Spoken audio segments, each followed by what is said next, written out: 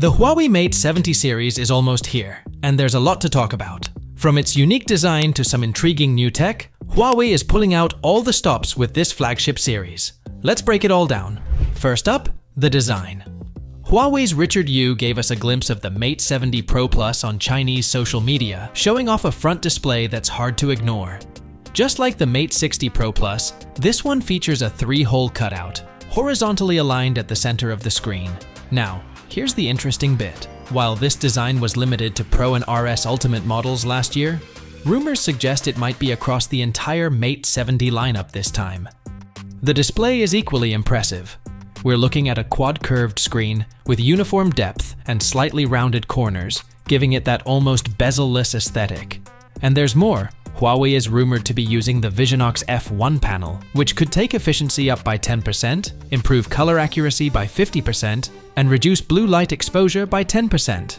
Oh, and it extends the display's lifespan by 22%. That's some serious innovation for a smartphone screen.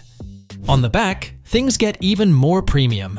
Huawei's new back panel is made with a unique material that adds a glittery textured finish.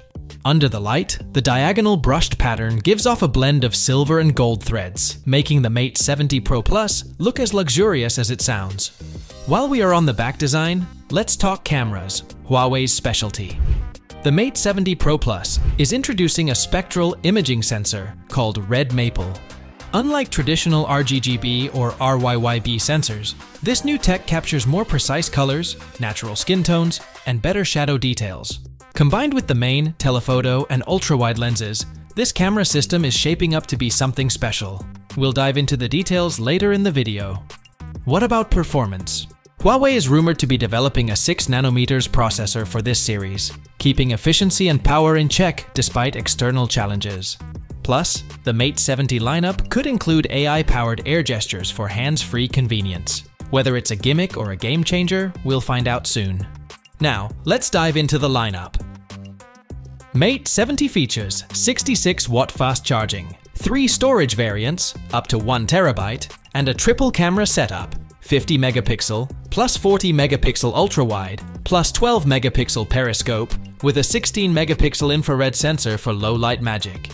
Mate 70 Pro steps it up with 100 watt charging, a front time of flight face unlock sensor, and the same camera setup, but with upgraded specs. Mate 70 Pro Plus matches the Pro in charging and unlocking, but adds that spectacular red maple sensor to the camera system.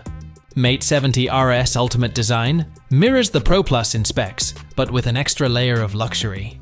The countdown is on. Huawei will officially reveal the Mate 70 series on November 26th. Which feature are you most excited about?